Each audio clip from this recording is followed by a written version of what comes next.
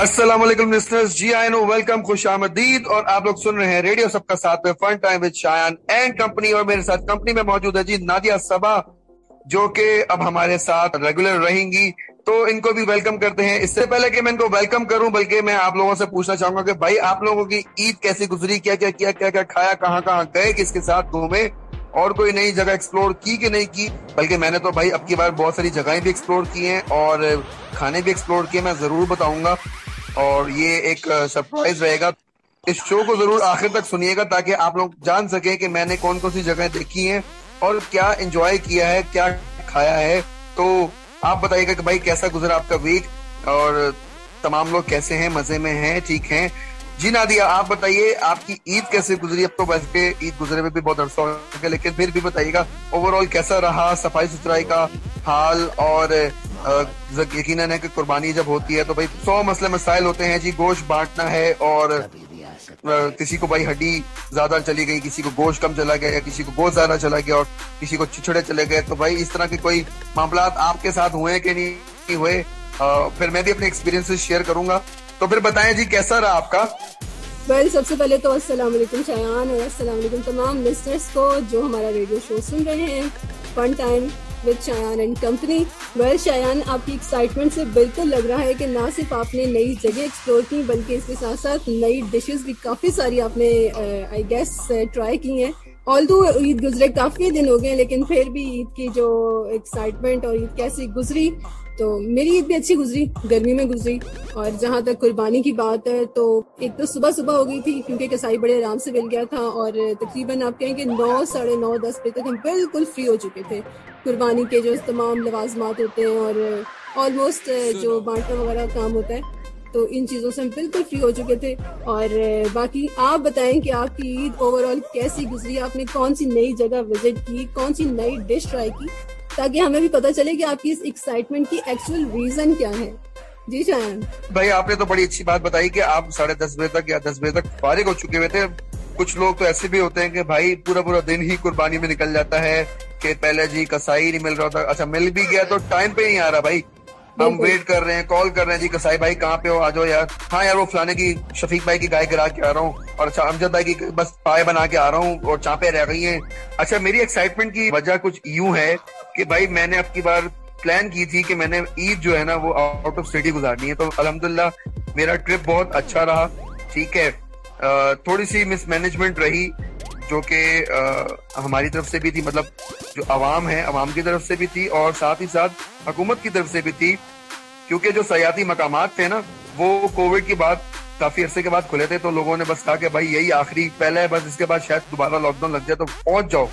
तो मैंने प्लान किया हुआ था कि जी नारायण काकान और मतलब northern areas hill side plan की हुई थी अपनी फैमिली के साथ। लेकिन मैं मरी को पहली दफ़ा सन्नाटे में देख के बड़ा हैरान हुआ कि यार ये वो जगह जहाँ पे लोगों की चहल पहल होती थी और वहाँ पे बिल्कुल सन्नाटा, मुश्किल से जाके हमें कोई एक रेस्टोरेंट मिला जिसमें हमने नाश्ता किया। तो वहाँ वो भी मज़े के बाद मरी में कराची रेस्टोरेंट चेक करें आप यार। और हमने उसके औसम से पराठे खाए, चाय पी और कोशिश हमारी यही थी कि हम थोड़ा लाइट फ़ूड ले ताकि ट्रेवलिंग अगर करें तो वॉमिटिंग ना आ सके।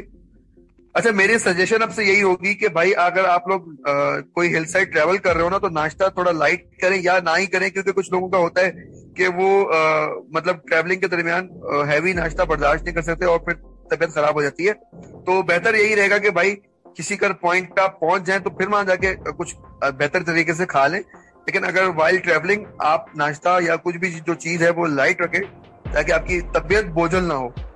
तो अभी आगे आगे चलते रहेंगे और आहिस्ता आहिस्ता मैं अपनी जो जर्नी है वो आप लोगों से शेयर करता रहूँगा। इससे पहले कि आपसे मैं मजीद अपनी जर्नी शेयर करूँ, आपको मैं बता दूँ कि आप हमें सुन सकते हैं नई सुबह के यूट्यूब चैनल पे।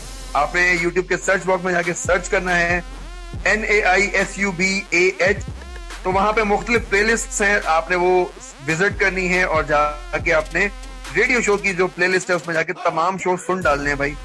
फन टाइम भी सुनना है आपने और वर्ल्ड ऑफ़ इन्फॉर्मेशन भी सुनना है जिसमें से आपके पास हमारा साहिबा जो है हमारी आरजे हैं वो मज़े मज़े की जो इन्फॉर्मेशन है वो आपसे शेयर कर रही होती है। साथ ही साथ क्वालिटी टाइम है जो कि आपका टाइम को क्वालिटी वाला बना देता है।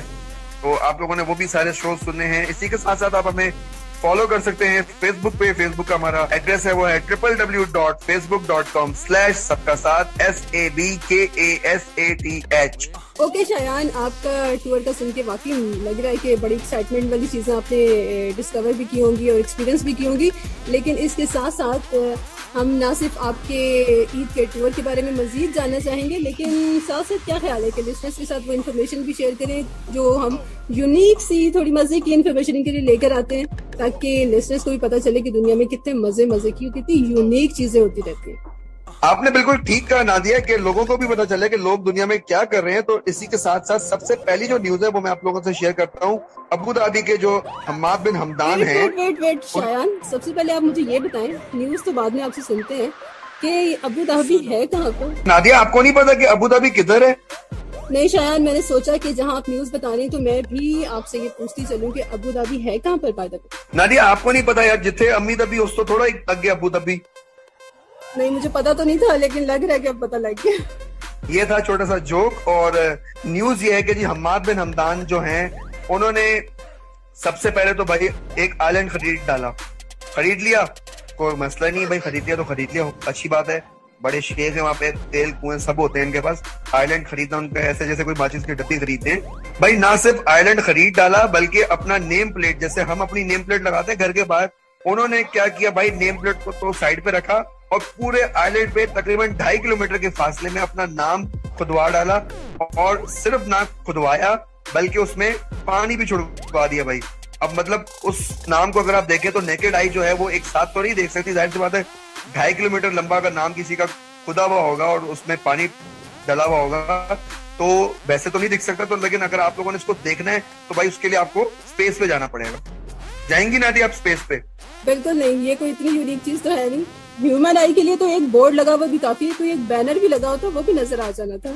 अच्छा वेल लिसनर्स आपके साथ हम शेयर करते हैं कि Apple phone I five right आपने महँगे से महँगा फ़ोन खरीदा होगा एप्पल फ़ोन भी खरीदा होगा आईफोन भी आप लोग यूज़ करते होंगे, लेकिन एक अदर पीस सिर्फ़ एक सिंगल पीस इसका ऐसा आया जो कि गोल्ड और डायमंड से टोटली जिसको बनाया गया made of gold and diamond right और इसमें 135 ग्राम 24 कैरेट गोल्ड को इस्तेमाल किया गया, जो प्योर गोल्ड होता है। ना सिर्फ़ आज तक होता था खातन का जो शौक होता है गोल्ड, लेकिन यहाँ देखें कि यूनिकनेस लाने के लिए फ़ोन में भी गोल्ड का इस्तेमाल किया गया, और इसकी पूरी की पूरी बॉडी जो थी वो प्योर गोल्ड से बनाई गई, और इसके इर्द गिर्द इसमें मजीद खूबसूरत बनाने के लिए 600 वाइट डायमंड्स लगाए गए।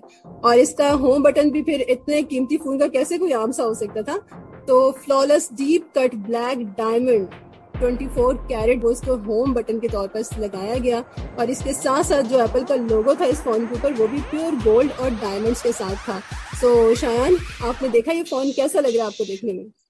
देखिए ये होता है कि शौक का कोई मोल नहीं होता। अब देखें इसी तरीके से एक शख्स और है दुनिया में जिन्होंने हद कर दी है अपने शौक को पूरा करने की।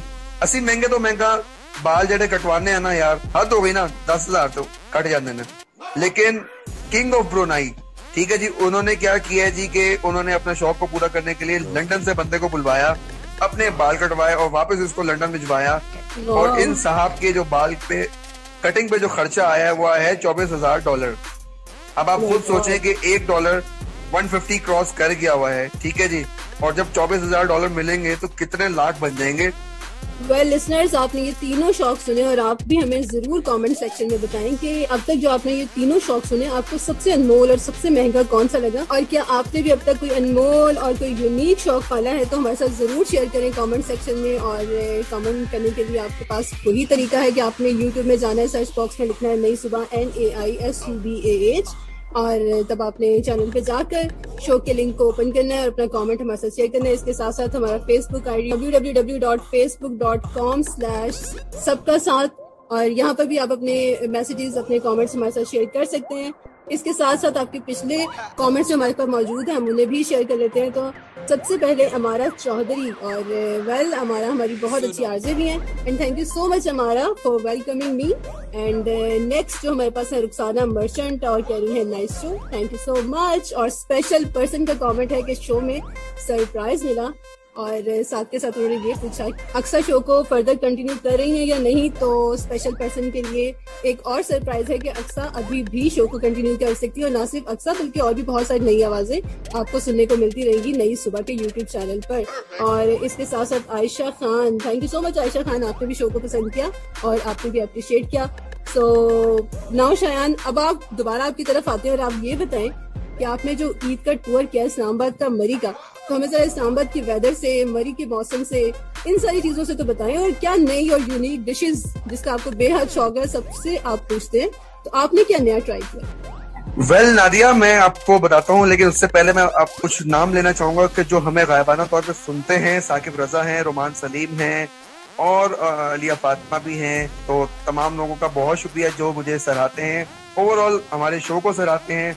और जिन जिन के नाम हम नहीं ले सके तो माजरा चाहेंगे। आप हमारे दिनों में हैं। तो हर किसी मत समझिएगा कि हम आपका नाम नहीं लेते तो आपसे हम प्यार नहीं करते हम आपसे बहुत प्यार करते हैं। हम अपनी जो यूट्यूब की जो लिसनर्स हैं उनको हम बहुत प्यार करते हैं। अच्छा बैक टू योर क्वेश्चन तो इस्लामाबाद का वेदर यार जब हम पहले लैंड किए थे तो वहाँ पे थोड़ा सा प्लेजेंट था। आ, फिर हम आगे मूव करके मरी की साइड पे जब वापस इस्लामाबाद आए तो पहले दिन तो बहुत रफ वेदर था लेकिन फिर जब सुबह के टाइम पे बारिश हुई वहाँ पे तो बहुत ही प्लेजेंट मौसम हो गया और हमने उसी प्लेजेंट मौसम में रावल डैम आए हाय हाय फिर फैसल मॉस्क चक्कर पड़िया मोर्नामेंट ऑफ़ पाकिस्तान और दामने को यार मुझे ना औसम व्यू लगता है दामने को का कि वहाँ पे आप खड़े होकर पूरे इस्लामाबाद को इंतहाई खूबसूरती से देख सकते हैं। मज़े की बात ना सिर्फ़ व्यू खूबसूरत होना चाहिए बल्कि देखने वाली आँख भी खूबसूरत होनी चाहिए।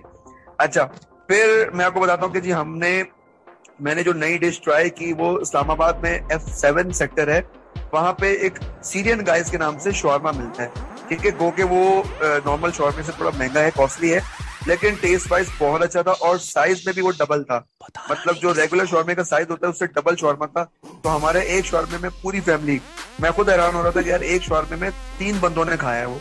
तो इतना बड़ा वो शॉर्मा था तो लिस्टर्स आप लोग जब भी इस्लामाबाद जाएँ या जो इस्लामाबाद में हमें सुन रहे हो तो वहाँ पे जाके ज़रूर विज़िट कीजिएगा सीरियन गाइस को। हमें भी बताइएगा कमेंट सेक्शन में कि कैसा लगा आपको। आया सिर्फ़ मुझे ही मज़े का लगा कि आप लोगों को भी मज़े का लगा कहाँ कहाँ हमें मौसम अच्छा मिला? जनाब वेदर की मैं बात कर रहा हूँ तो बालाकोट में हमें वेदर थोड़ा सा रफ मिला। खराब था, मज़ेदार सा नहीं था। गर्मी थी और गो के वो चोकरान और नारायण करान से थोड़ा सा करीब ही है लेकिन फिर भी वेदर मुनासिब नहीं था। इससे पहले हम लोगों ने मरी, अयूबिया नतिया गली और ये सब जगह विज़िट की। अयूबिया में हमें मज़ेदार सी बारिश मिली, जिसकी वजह से बहुत मौसम ठंडा हो गया था। जिसको हमने खूब इंजॉय किया, चाय पी के, पकौड़े खा के आया है। ठंडियानी में भी मौसम थोड़ा सा ठंडा ठंडा था, जैसे कि जगह का नाम ही ठंडियानी है तो मौसम भी ठंडा ठंडा था। वहाँ पे भी हमने चाय पकौड़े बहुत इंजॉय किए। और हमने तो मैंने बता दिया कि शॉर्मा ट्राई किया था। अच्छा अयूबिया में हम लोगों ने चेयर लिफ्ट अवेल की थी, और एक पहाड़ से हम दूसरे पहाड़ पे चेयर लिफ्ट के ज़रिए गए थे। वहाँ पे भी व्यू बहुत अच्छा था। मौसम तो था ही अच्छा लेकिन व्यू भी बहुत अच्छा था। कभी अचानक से बादल आ जाते थे कभी अचानक से धूप आ जाती थी। असल में इन जगहों पे सिर्फ़ और सिर्फ़ व्यू ही होता है। बाकी और कोई खास चीज़ें नहीं है। चंद एक जगहों पे हैं जैसे कि बंदर पॉइंट है वहाँ पे आपको सिर्फ़ बंदर ही बंदर मिलेंगे। और मज़े की बात बंदर सिर्फ़ ना मिलेंगे बल्कि वो आपके खाने को छीन के भी भाग जाते हैं। वेल well, शायान आपने तो ईद खूब मज़े में गुजारी खूब अच्छा सा मौसम एंजॉय किया आपने नॉर्दर्न साइड को विज़िट किया। और साथ के साथ मैं एक चीज़ यहाँ पर आपके साथ शेयर करती हूँ आपके साथ जो लिसनर्स के साथ भी जो भी शायान ने भी बताया ट्रैफ़िक जैम का। और साथ के साथ बंदर ठीक है? अब इन दोनों चीज़ों का मैंने क्यों लिंक किया एक दूसरे के साथ? आप बंदरों के बारे में एक यूनिक चीज़ ये है कि इनमें अगर कोई बंदर बीमार होता है तो बाकी बंदर उससे दूर हो जाते हैं, ठीक है? डिस्टेंस पे चले जाते हैं ताकि बीमारी जो है वो बाकी बंदरों में शिफ्ट ना हो। तो अब जब जानवर ये चीज़ें प्रैक्टिस कर रहे हैं तो इंसानों को क्या कहें जब बार बार कहा जा रहा है कि डिस्टेंस रखें डिस्टेंस रखें? और जैसा कि अभी शाया ने ज़िक्र भी किया कि नॉर्दर्न साइड पे इतना ट्रैफ़िक जैम था कि वो नारायण का अगान एरिया को विज़िट भी नहीं कर सके। बिल्कुल नादिया, ऐसा ही है। तो लिसनर्स आप लोगों से रिक्वेस्ट है कि भाई, अब फोर्थ वेव आ चुकी है कोविड की और आप लोगों ने मजीद अपने आप को महफूज रखना है, अपने प्यारों को महफूज रखना है। ना सिर्फ़ अपने आप को, अपने प्यारों को भी और अपने आसपास का माहौल साफ़ सुथरा रखना है, लोगों से डिस्टेंस रखना है और साथ ही साथ मास्क वेयर करना है। अगर सैनिटाइजर यूज़ नहीं करना तो भाई ना करें, लेकिन फिर भी हर घंटे में एक दफ़ा हाथ ज़रूर धो लें और अपने जो इर्द गिर्द सफ़ाई रखें। इसी के साथ अब हमारे शो का हो जाता है टाइम खत्म। तो मेरी तरफ़ से जी अल्लाह हाफिज, फ़ी अमान अल्लाह। सो so, अपना और अपने प्यारों का बहुत सा ख्याल रखिए ताकि अच्छी अच्छी ज़िंदगी गुजारें और ना सिर्फ़ अपने लिए बल्कि बाकियों के लिए भी आसानियाँ बांटें। और आज का शो आपको कैसा लगा इसके बारे में हमें ज़रूर बताइएगा। हमारे फेसबुक पेज पे जाके अपने मैसेजेस भी कर सकते हैं आप कमेंट्स भी दे सकते हैं। इसके साथ साथ आप शो के एंड में कमेंट्स भी अपना हमारे साथ ज़रूर शेयर कीजिएगा। सो so, अब आप लोगों से मुलाकात होगी। होपफुली नेक्स्ट शो में टिल देन अल्लाह निगेबान।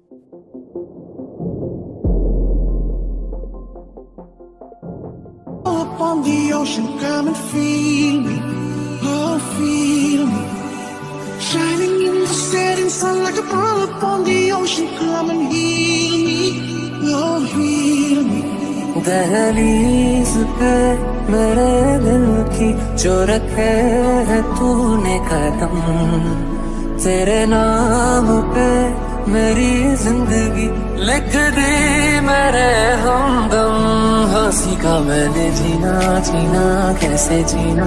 हाँ सीखा मैंने जीना, मेरे हमदम ना सीखा कभी जीना जीना, कैसे जीना?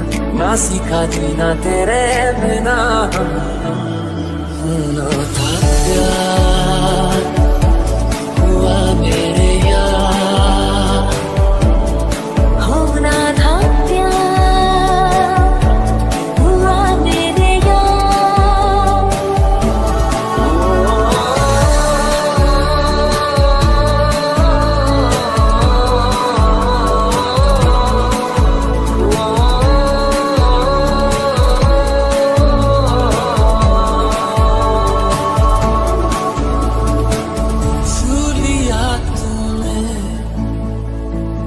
जब से आँखों को मन्नते पूरी तुमसे ही, से ही। तू मिले जहाँ, मेरा जहाँ है वहाँ। रौन के सारी तुमसे ही, से ही। आ रहा मैं।